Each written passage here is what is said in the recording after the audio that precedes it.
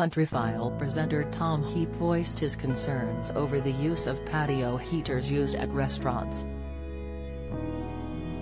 It comes after the on-screen journalist recently made a startling discovery.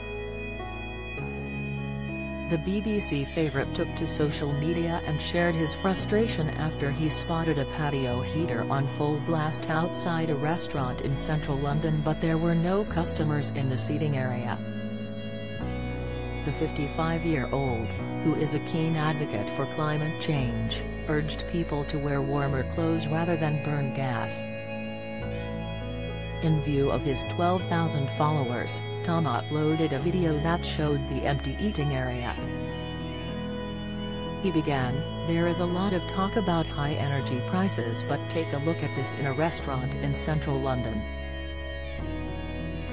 The on-screen broadcaster panned the camera across to the scene of empty tables but a burning patio heater.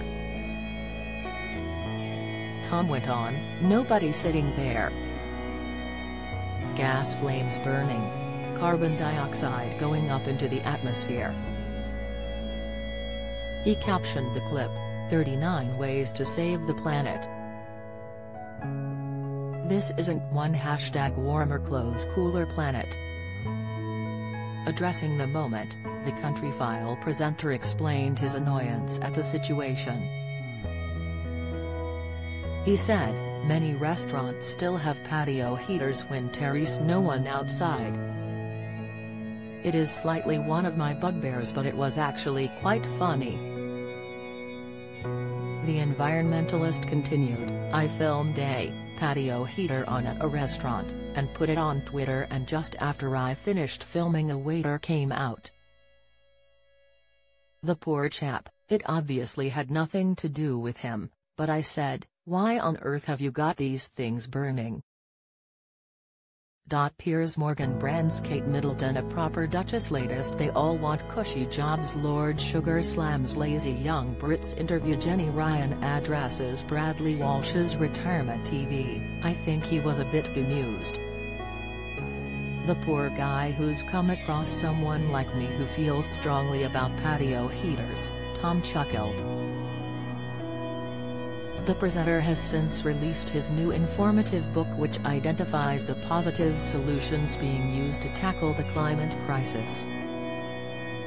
His book 39 Ways to Save the Planet covers logical solutions that are making our planet greener each day.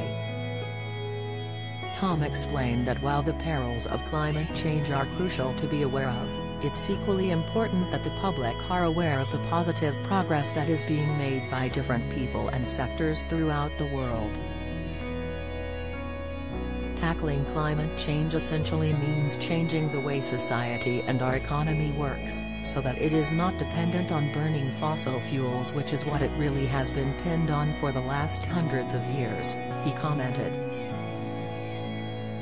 There is more than one narrative that needs to be articulated, he added, the narrative of peril coupled with doom and gloom is important and is true, but it doesn't work for a large section of the population and it isn't the whole story. 39 Ways to Save the Planet by Tom Heap, BBC Books, £12. 99, is out now in hardback.